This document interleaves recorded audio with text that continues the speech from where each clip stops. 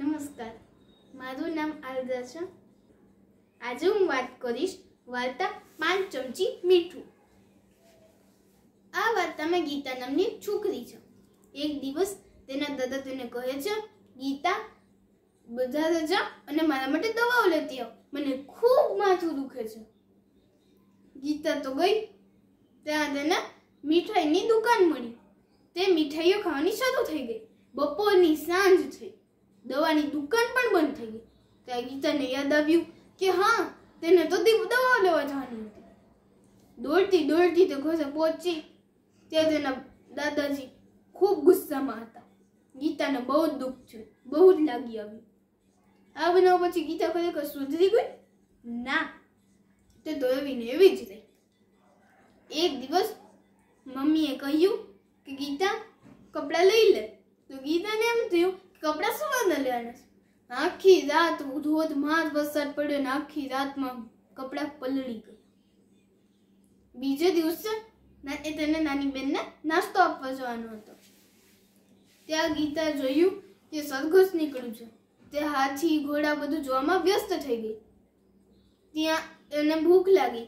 તેને યાદ આવ્યું કે એની નાની બેનને નાસ્તો આપવો ભૂલી ગઈ છે. અને હવે નાની બેન તો ઘરે પણ આવી ગઈ હશે. એક દિવસ પપ્પાના ઓફિ- ઓફિસ જવામાં બહુ ઉતાવળ થતી હતી. તો તેને ગીતાને પૂછ્યું કે તે તેને શર્ટમાં ઇસ્ત્રી કરી આપશે? ગીતા ઇસ્ત્રી લીધી અને તે કરવા માંડી. ત્યાં હવે ઇસ્ત્રીના ટેબલની બાજુમાં જ બારી. ત્યાં તેને જોયું કે જાત ભાતના બધા ફળ છે. જોવામાં તે પાછી વ્યસ્ત થઈ ગઈ અને તેને પછી વાસ આવી એટલે તેને ખબર પડી કે પપ્પાનું શર્ટ બળી રહ્યું છે. અને પપ્પાના દુઃખની પછી વાત જ ન આવા ઘણા બનાવ બન્યા બાદ એક દિવસ ગીતા ઘરે આવી અને ઘોષણા કરી કે બીજે દિવસે પ્રવાસે જવાનું છે.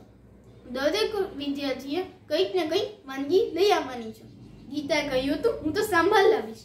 તેને તેના મમ્મીના સરસ ખાટા અને તીખા સાંભાર પર ખૂબ ગર્વ હતો.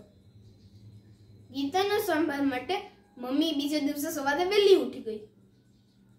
અલગ અલગ જાતના ફળ, તેજાના નાખ્યા, દાળ, બાફી અને સાંભાર બનાવ્યો.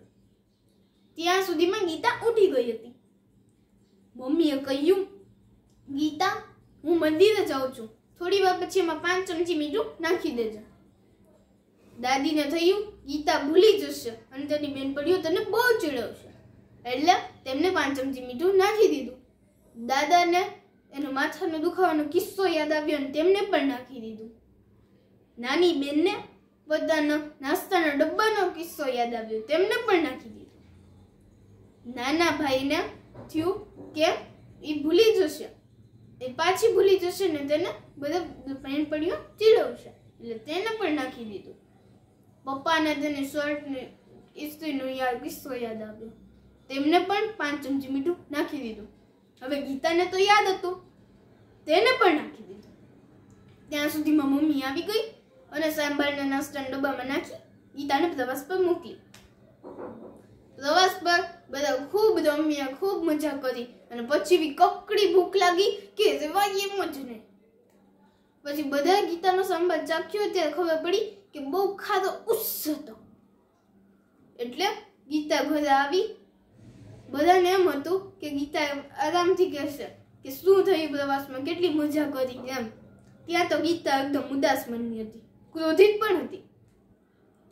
ગીતા ઘરે આવી અને જોરથી પૂછ્યું, આ ઘરમાં કોઈ હતું જેણે સાંભાર નાખ સાંભારમાં મીઠું નાખ્યું હતું?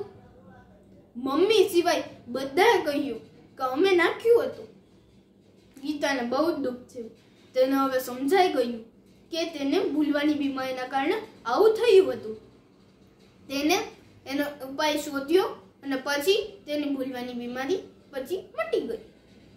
તેનાથી મને મુક્તિ મળી. આજ મેં વાર્તા કરી. પાંચ ચમચી મીઠું, જે સુધા મૂર્તિએ એની પુસ્તક મજાના વાર્તા ખજાનામાં લખી છે. Thank you